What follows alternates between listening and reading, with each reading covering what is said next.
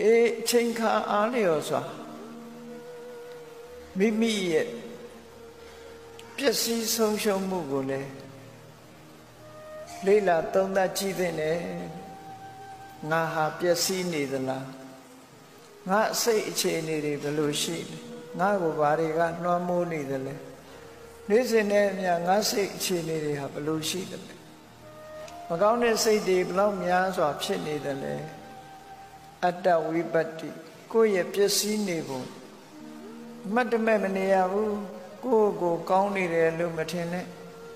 ကိုယ့်ကိုပျက်စီးနေတာလားဆိုတာကိုဆင်ញင်သုံးသပ်ကြည့်ဥမာမဲနေ့စဉ်ဘဝမှာနေတဲ့အချိန်မှာဖះရှိခိုးအမှလည်းပြင်းတယ်ဖះလည်းတနေ့မှမရှိခိုးမိဘူးဟောဥပတိလာဆိုဝေးငါးပါးတိလာလည်းချိုးဖောက်တယ်ဆိုရင်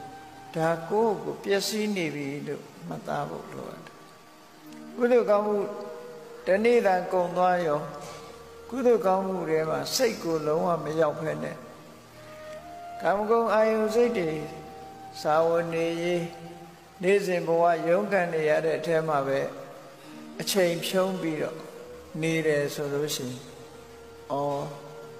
ငါမှ ကောင်းတဲ့စိတ်တွေပျက်စီးနေပါလားဆိုတာဆင်ញင်သုံးသပ်တွေးတော့အောင်ရသော်ဗျာတတိပေးတာကိုကိုကိုရဲ့ပျက်စီးဆုံးရှုံးနေမှုကိုလည်းပဲဆင်ញင်သုံးသပ်ပေးရမယ်